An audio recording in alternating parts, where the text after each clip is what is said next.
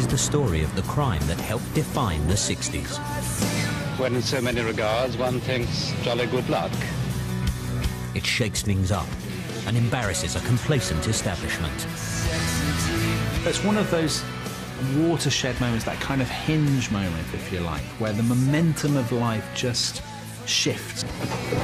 It's pulled off by modern-day highwaymen, the type who appeal to the British, to be seen here in archive interview.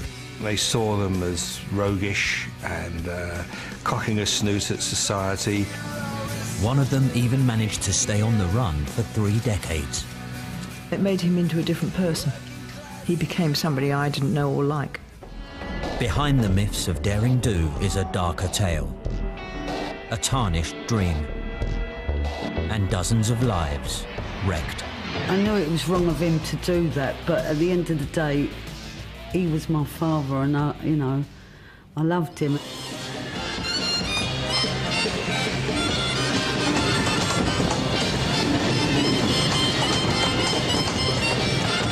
It is one of the most controversial media stories of its age.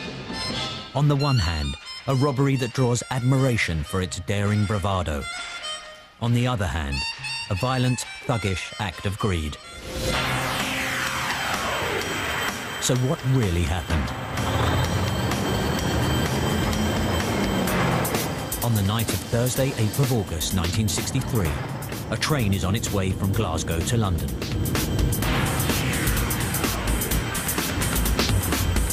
Along the way, it's collecting huge amounts of cash. At the same time, a gang of thieves leave a remote farmhouse in Buckinghamshire. When the figure of 1 million to 6 million was mentioned to me, um, my first thoughts were, this is it, this really is El Dorado. The plan is to stop the train and rob it.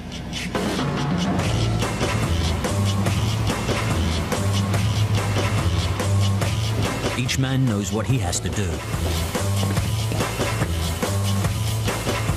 It's 3 a.m. in the middle of nowhere. They hotwire the red signal and cover up the green with a glove. It was cheeky, it was audacious, it was extremely well executed. The raid is planned with military precision. I saw myself as a, you know, an extension of a commando leader. Growing up in the war, seeing all the aeroplanes bombing and dogfights and stuff and reading the comic books, it was a boy's own adventure. So who are these adventurers lying in wait for an oncoming train in the middle of the night?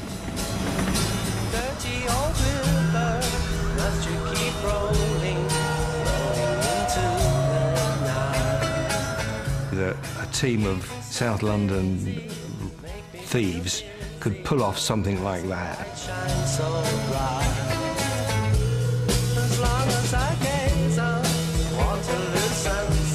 Train robbers gang comes from all over London's southern suburbs. It's been put together by two men, Gordon Goody from Putney and Bruce Reynolds from Battersea. Crime was my life. I mean, uh, the, the excitement was there. That, that was, I think, more predominant than, than the money. Bruce Reynolds deals in bric-a-brac, but is fond of the high life. He got his shoes made the same place where the Queen gets her shoes made. He used to drink wine when, uh, A, you could hardly get wine in England, and it was seen as a bit of a suspect drink that only girls had. Gordon Goody is a hairdresser. My father wanted me to be um, a plumber. If I'd listened to him, maybe I'd have been better off.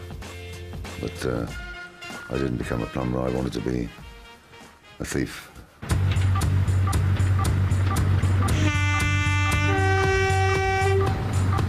Goody and Reynolds have with them on the track that night a gang of talented accomplices that they met in prison and on the streets of South London. They cut the communication wires so no one can call for help and then wait for the train to arrive. Buster Edwards is a florist. Charlie Wilson, a greengrocer, who will later be sprung from prison. as will Ronnie Biggs, a builder. I'd extracted a promise from him when he married me that he would never um, engage in any criminal activity ever again. And he gave me his word, and I believed him. And I think he meant it at the time. Tommy Wisbey, a newcomer, is a bookie from Camberwell. I was the, the only black sheep of the, our family. It was all they was all hard-working people. For the dozen or so men on the track, this is the most exciting moment of their lives.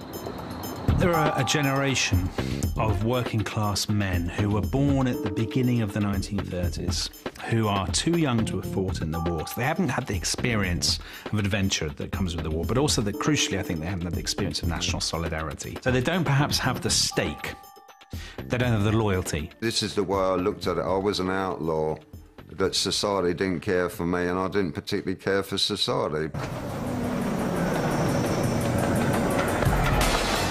The train that is making its way closer and closer to Reynolds and his gang is a mail train.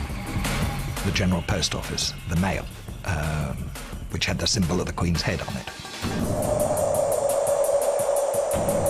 If they went for a target like that, then they played for very high stakes.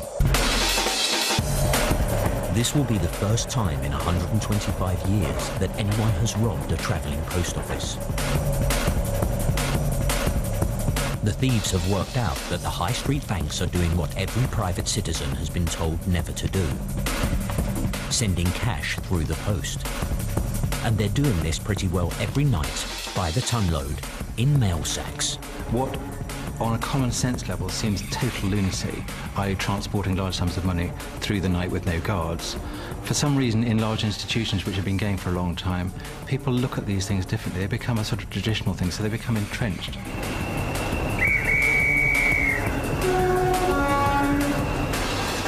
They're virtually unprotected, and vast sums of money are bit carried all over the country. Uh, their main security is the fact that nobody knows how much is on board. When it gets to Buckinghamshire, the mail train is ripe for the picking. It has picked up money in mailbags from stations all along the way. I'm old enough to remember seeing them hanging from baskets. The train didn't stop, it just careered through the station, and Annette went out and picked the bag up. This is enough money to transform the robbers' lives.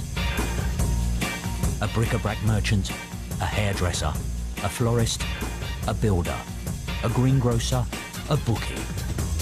South London thieves with day jobs and criminal records united by the same thing aspiration.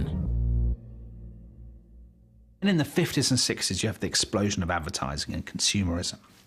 Suddenly, there's a brave, bright new world out there which you can just about reach, but kind of can't. We'll get high. We touched it. We touched the sky. The there. I tell you why. It's all too beautiful. There's now a culture of ambition, material ambition, aspiration. I want a television, a car, a holiday, a nice house. I want all those things and I'm going to go out and grab them.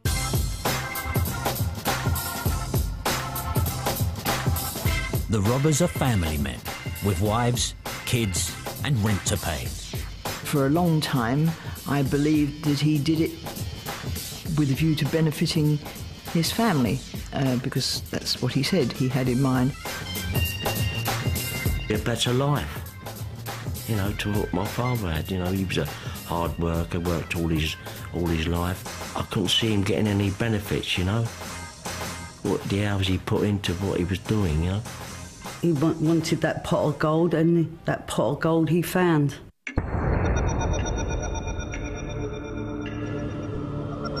Before dawn, Bruce Reynolds spots the lights of the train approaching the stop signal. I think I remember him saying he put his head down onto the railway tracks as he'd heard that's what Lawrence of Arabia did to hear when the trains were coming. It's the moment of truth. as the train stops as planned at the rigged signal. We still didn't know any amount of money we was getting. We couldn't say we were going to get 500,000, or 800,000 or 200,000. There's no going back now. So far, the scheme has worked to perfection. But all that is about to change. People have this kind of Robin Hood fantasy, if you like, of the Great Train Robbers is actually, you know, some sort of Ealing comedy enterprise, um, which of course it isn't. You know, these people are career criminals who are out, you know, to get what they can for themselves. The next 30 minutes will see a transformation. The ruffians will become thugs as an audacious robbery turns into a violent raid.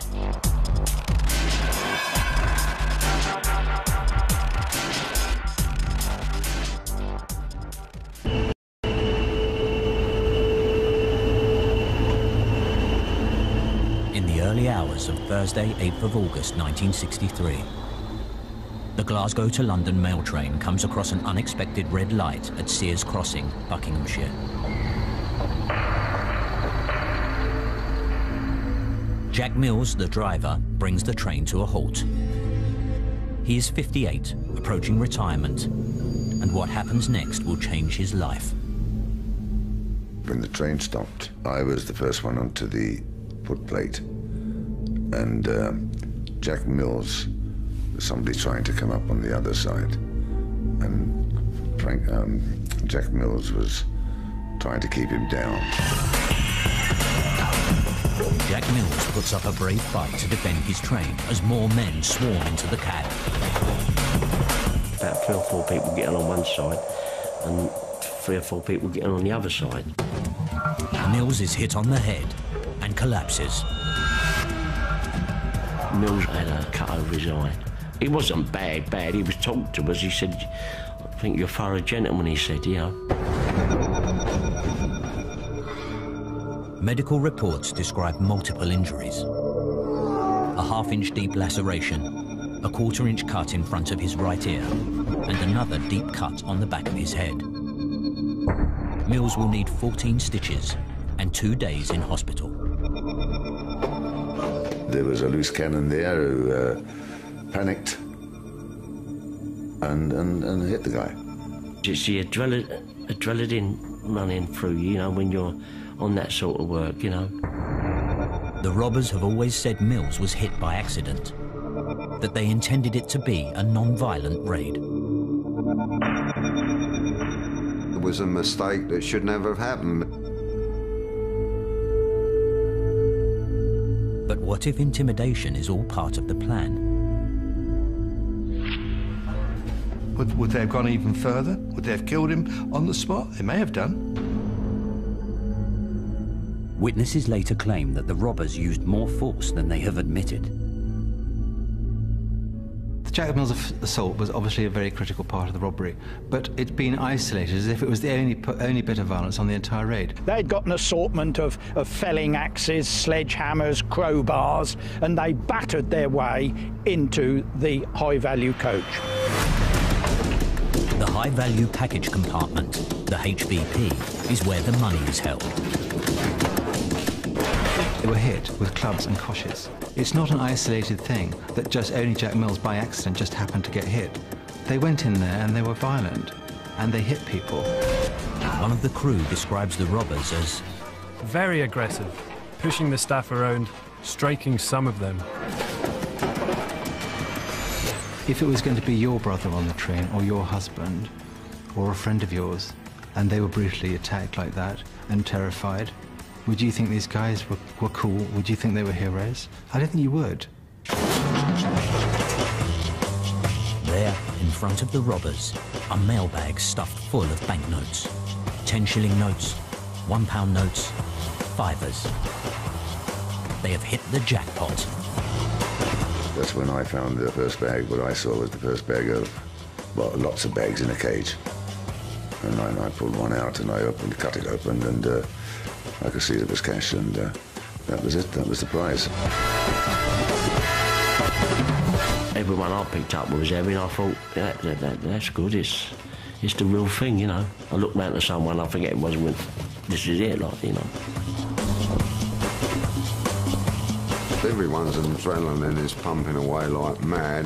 When the half an hour was up that I'd allotted for the unloading, I called it a day and I went in the lead Land Rover and we drove off into the night.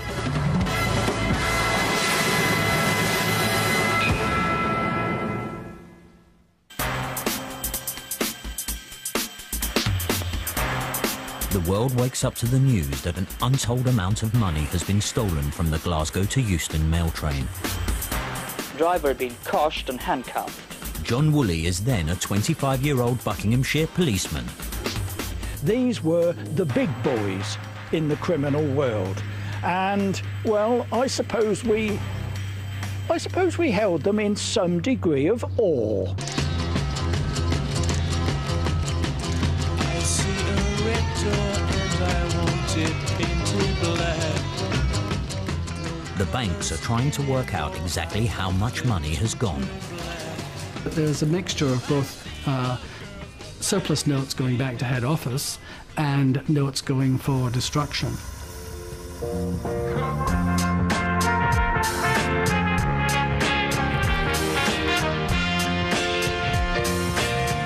It started off at two, three hundred thousand, and then was spiked uh, every two hours up by another quarter of a million. And so we went up to a million, a million and a half, million and three quarters, two million, two and a quarter million, two and a half million pounds. And that was a complete sensation. I know I was earning about £10 a week. And it really was difficult to, to, you know, just imagine how much. It was two and a half tons of money in weight. The mounting toll of money. The stories coming from the railway track. This is the best adventure story since the Dam Busters. The British public are in a frenzy. Fueled by the media who picked up on the train robbery, originally called the Cheddington Mail Van Raid until some bright spark at the Daily Sketch said, let's call it the Great Train Robbery. The robbers themselves, perpetrators of this daring deed, haven't gone far. They're in hiding. Not back in South London or further afield. They have stayed in Buckinghamshire. And it was here to Leatherslade Farm that they returned with their loot and set up their hideout. They're in a local farmhouse, playing Monopoly with real money, and waiting till the heat is off. Perfect. I suppose after a time, you know, we'd have, I'd have decided what I wanted to do, you know, once all the hullabaloo had, had Uh, died down, you know. Four, five, six, seven, eight. They believe they're secure in their lair. They've laid in enough supplies for weeks.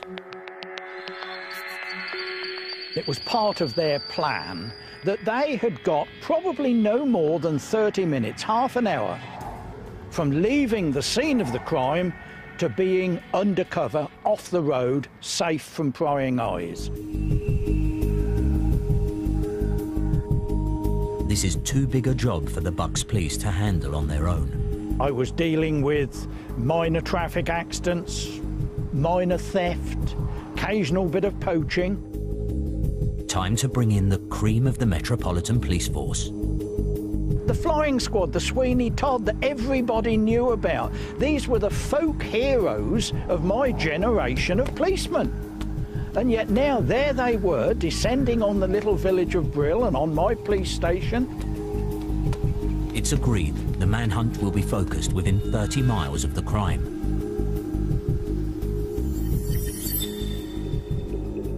Smart police work.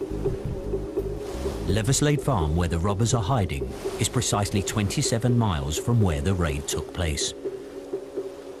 That would flush them out. They'd, they'd panic. They might just suddenly decide, well, we've got to get out of here. We had a um, high-frequency radio listening to the police calls. Keep searching all isolated properties, but exercise extreme caution. These men are dangerous and will stop at nothing. If the robbers jump ship immediately, they risk being caught in a trap. But sooner or later, their hideout will be found. People in the countryside are, frankly, more nosy. If you want to hide, if you don't want to be seen, if you don't want to arouse attention, then you stay in the city. The idea that you can go down into the countryside and nobody's going to notice you is, is a, a townie's mistake and it costs them big time.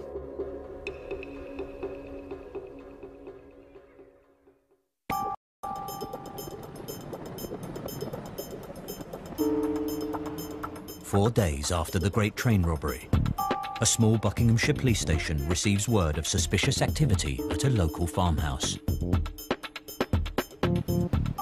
It all started with a telephone call, and my sergeant asked me, did I know where Leatherslade Farm was in Brill?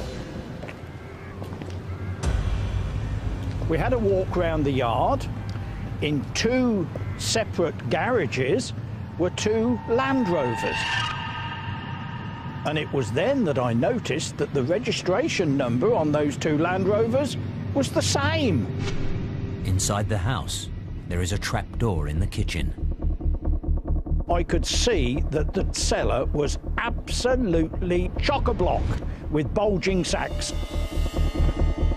And as the top flopped open, I could see parcel wrappers, banknote wrappers, consignment notes, all bearing the names of the famous high street banks. Tipped off by police radio traffic, the robbers have got out just in time. But they have abandoned the farm without covering their tracks. What really did go wrong was that the guy who was paid to basically go t back to the farm and burn it down did a runner.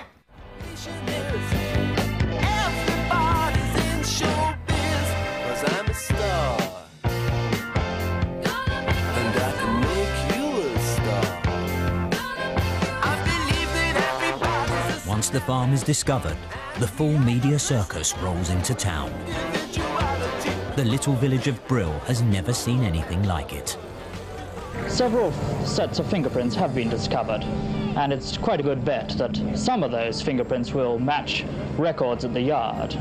In addition, of course, there are vast stocks of tinned food and other stores, and it's possible the police may have a lead here. We were filmed from every angle, sideways up in the sky with the helicopters, and people who probably had never had their views canvassed on, on anything of importance were suddenly being asked to comment. Which side are you on, the cops or the robber? The robber because I think they were clever. But he's dishonest. Well, I still, I'm still on his side. What about you? Whose side are you on? Police. Why? Oh, a man did wrong and he should get his own punishment. Tommy Butler, chief of London's elite flying squad, is now in charge of the case. He would give the impression that, that he knows all about you, when maybe he didn't, but he'd give the impression that he did. And, and that, that kind of like fitted this notion of this cunning old fox. Tom Butler has a reputation, and um, he was a villain. He was, I see Tom Butler as, he was so streetwise, he thought like a thief. He thought like I did. The robbers have been flushed out of their lair and scattered. But the flying squad already has intelligence on who they are. Well, no, the police could guess who did it because there was only one gang in London who could have done it. They knew straight away, bloody Reynolds. That is, how did he do it? And how are we going to prove that he did it? Wanted notices are issued with photographs. There was a sense from the time when police issued the wanted poster that they knew uh, exactly who they were looking for and that around these figures a net had been set up which was gradually tightening. A lot of the information that was coming in wasn't supplied because people were looking for a reward. A lot of it is because they were jealous that they weren't on it.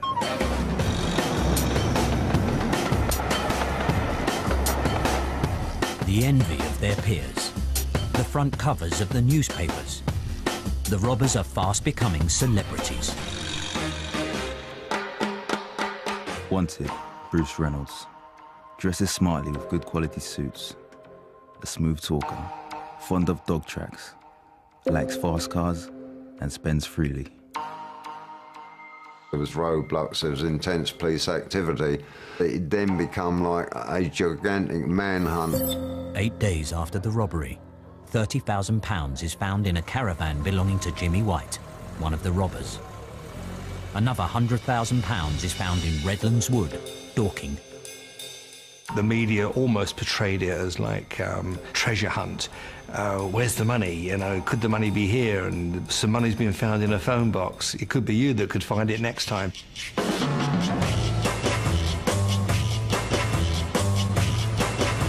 In London, the Wisbeys are on a spending spree. One minute we would buy clothes from a catalogue, and next minute we'd be in a black taxi down to Knightsbridge in Harrods. But for Charmian Biggs, Ron's homecoming can only mean trouble ahead. He tipped the contents of the kit bags onto the floor, and the notes were all done, done up in bundles. And they smelled horrible, very fusty. I was just anxious for him to get it out of the house as soon as possible. Forensics have spent 10 days dusting the farmhouse for prints and are now examining what they've found. The main evidence was was the fingerprint evidence that was found on uh, artifacts at the farm. We had cats. He liked cats, and he put a saucer of milk out at Leatherslade Farm, and I think there was a fingerprint on that. It was on other things that he'd handled inside because he hadn't worn gloves all the time. Some of the others wore gloves from start to finish and never took them off. The flying squad combs London and the southeast. Criminals stay indoors. The streets are quieter than they have been in years. An unexpected bonus of the hunt for the train robbers. There were the arrests that, that followed quite quickly, and those extraordinary images. People with blankets over their heads being taken in and out of court and handcuffed to policemen. A whole group of policemen, eight perhaps, arrived at the house and sort of. I answered the door, but they they barged in. I explained to them that I was. They wanted to know where Ron was. He was at work. Um, I said I can call him. No, I wasn't allowed to use the phone. I was made to sit down and say nothing uh, as they all stood around the room until Ron came home from work. Tommy Butler comes in person with his officers to Tommy Wisbey's door. They asked me, you know, where I was and all that. I said, well, it's two months ago. I can't remember. I've, just, I've told you everything, so he said, we don't f***ing believe it anyway. He said, you're nicked. Gerald Seymour reports on the arrests for ITN. That went on right the way through um, late summer, autumn, and into winter. And the final big one before Christmas uh, was the arrest of Roy James, who did a runner over the rooftops. They dragged him down, about 10 policemen dragged him down into the mews. And I said to the detective, you know, who have you caught, who have you captured? And he said, oh, it's all right, we've got him. And we've just heard the news on the television set, and the dominoes were going down faster than I liked, and I thought well, it could be my turn. Bruce Reynolds will stay on the run for four years. Early one morning, the doorbell went. My dad shouted out, Nick, can you get that? I just ran down the stairs, opened the door, and the next thing I knew, I was the door came bursting open. I was pushed up against the wall. Police come charging in and basically threw themselves across the bed. Then my dad came in with Tommy Butler and basically just said to me, My son, you know, dad's been a very naughty boy and he's got to go to prison, son, and, you know, I love you, and that's it. I knew we were running from something, but I didn't know what. And it never occurred to me that my dad could have been a, a, bad guy. So when the police came, I thought, hey, the running's over. They come to rescue my dad. We're safe now. He was quite sort of avuncular and said, Well, I got you at last, Bruce. And it just come out natural. I said, la vie, Tom. The police were particularly nice to me, and I, I couldn't understand. Um, they were being very friendly and giving me presents and stuff like that. And whereas my mum was just an absolute mess, crying her eyes out.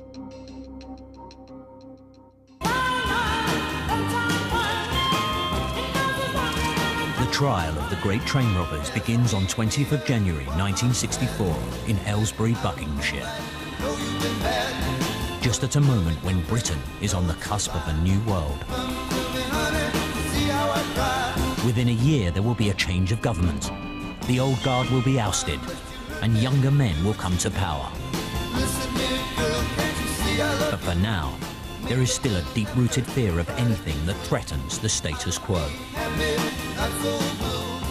This was a society that had become, in many ways, kind of fossilized. You have an elite of people who are all drawn, by and large, from the same class. They've been to the same schools, they've been to the same country houses at weekends, they have the same kind of Grousemore uh, values and, and tastes and so on. It was almost a crime against the state, and they weren't going to put up with that.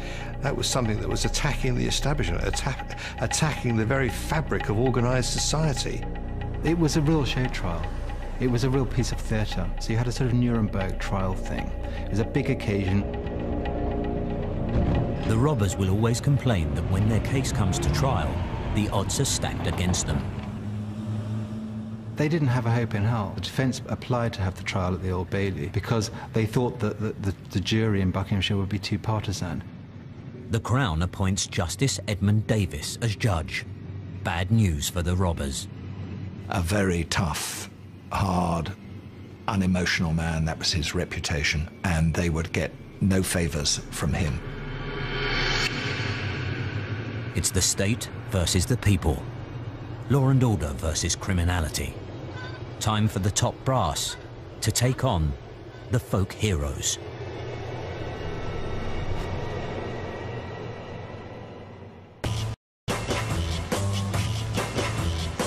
It's the grey days of winter 1964, and the great train robbers are on trial in Buckinghamshire. This is the reality television of its day. The robbers and their families in the full glare of the media spotlight. Time for some 1960s power dressing. The robbers' wags, as it were. They're kind of um, gangsters moles from central casting. And they sort of have this sort of ultra fashionable early 60s look, the kind of beehive and the false eyelashes and the mini skirts and whatnot.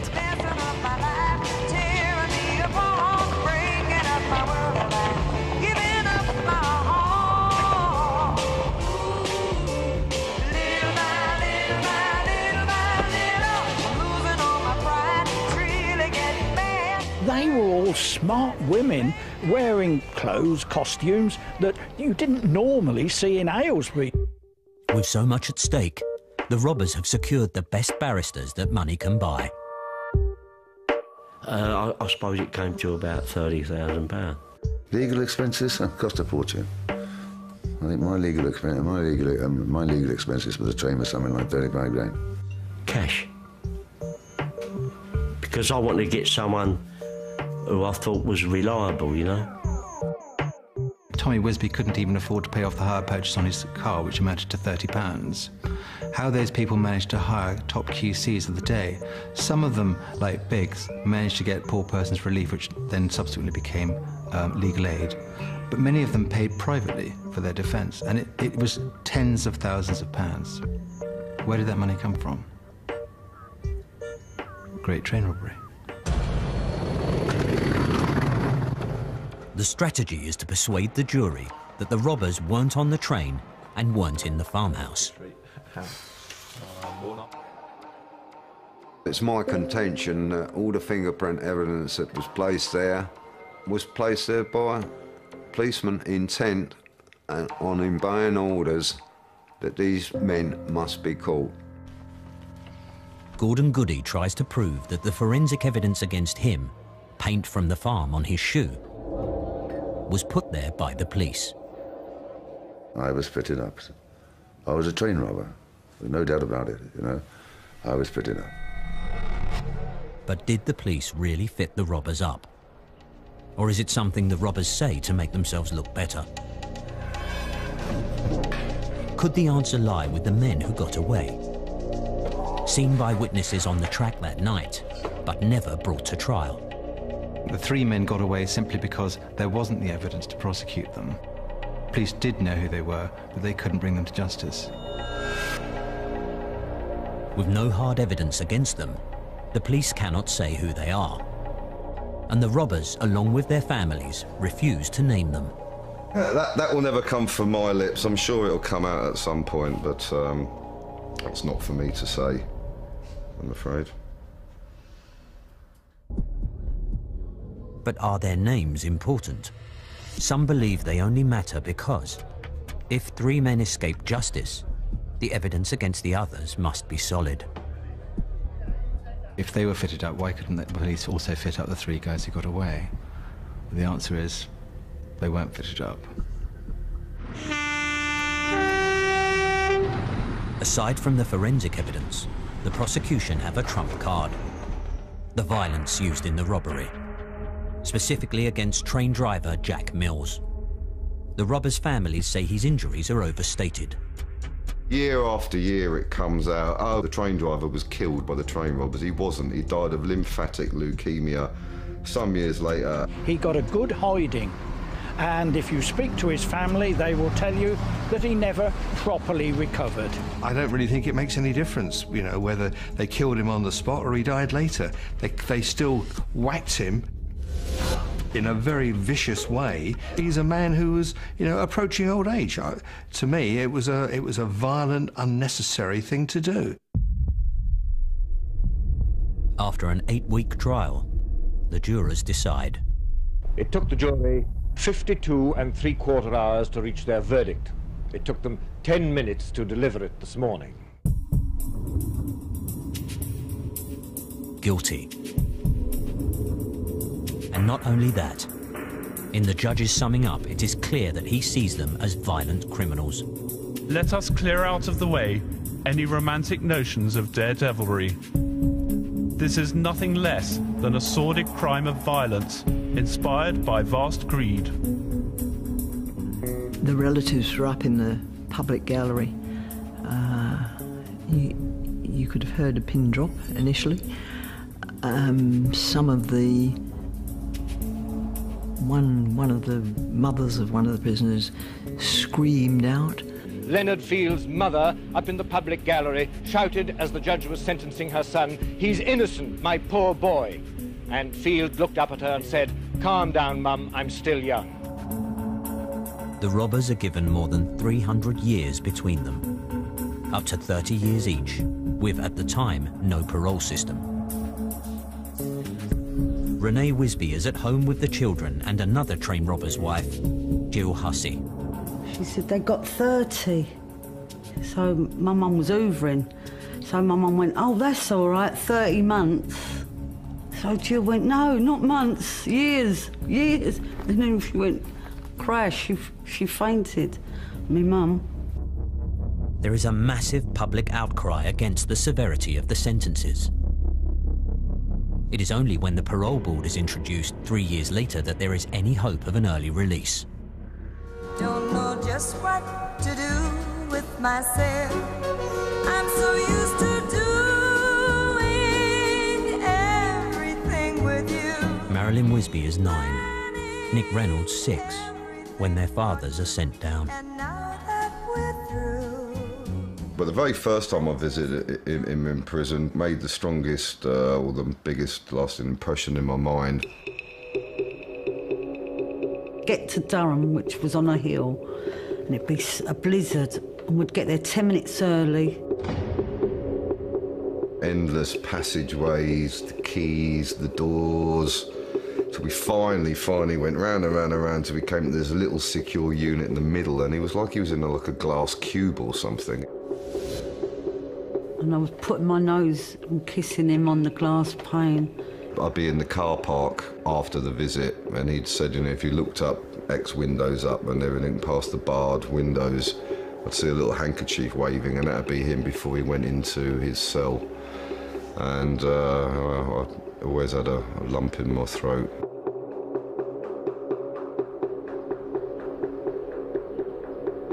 Alongside the robbers in jail is one man who was arrested, tried, found guilty, and sentenced with the rest of them. But Bill Boal, who leaves behind a wife and three kids, was not involved in the planning or execution of the crime. I'm afraid that he slipped under the radar, um, and I do to this day think that was a miscarriage of justice. Well, as, the, as I'm the eldest, he expects me to look after um, Anthony and Deborah, of course. Uh, he puts me in charge of them to see they don't um, run, ar- run around the streets too much. He, ex- he expects me to give them some sort of tuition, the way he, he, g- he gave me tuition.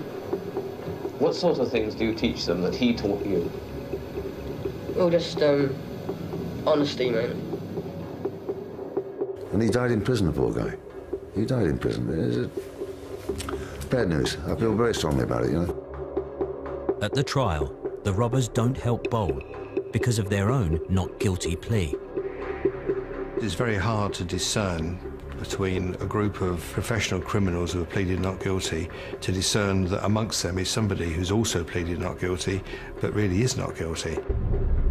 But once in jail, there was no orchestrated campaign to get him out.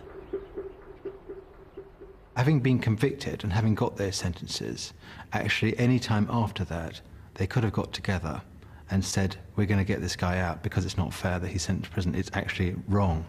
But they never did. The robbers have all since protested Boal's innocence. But could more have been done at the time? They, they didn't bother with him because they didn't care. And if they say they do now, then I don't believe it.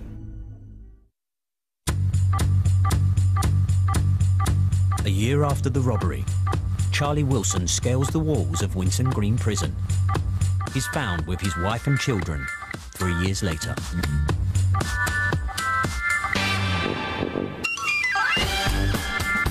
In July 1965, Ronnie Biggs escapes from Wandsworth Prison and flees the country. He'll remain on the run for 36 years, longer than his original sentence. I don't think I would ever entrust my well-being uh, to somebody else again after that. Um, I'd rather run my own show. I can rely on me. Biggs's escapades revived the heroic myth of the robbers, even though he played only a very minor part in the raid. Sordid and crooked as they are, the Great Train Robbers will always be remembered as the equivalent of 18th century highwaymen. And, you know, as many facts about the case can emerge as you want, but it'll never change the public perception. By 10 years after the robbery, most of the families had nothing to show for it. The, the money went on being on the run. It's an expensive game. Laundering, false passports, keeping one step ahead of the law. I lost a lot of money as it happens. And I know other people, and a lot of other people trusted their friends. And these are friends, and they you for money. Who can they trust? Because if they steal the money off them, what are they going to do? They're going to go to the police? They can't. It got put into businesses where buying them were worked. The dream that glittered wasn't gold. I think you have to be educated to be able to have money. What's the point of having loads of money if you're not educated? You're not using it to your best ability. Not that clever. All you had to do was stop a train in the middle of the night on a track where there's no other trains running along and take the money away. It would have been clever if we'd have all got away, maybe. What a waste. What an awful waste of some clever, bright guys who the fork in the road went left when maybe there was a right and paid so dearly for it. And um, I can't see that I may be completely wrong. I can't see that any of them would have said, "Yeah, hey, it was worth it was worth it."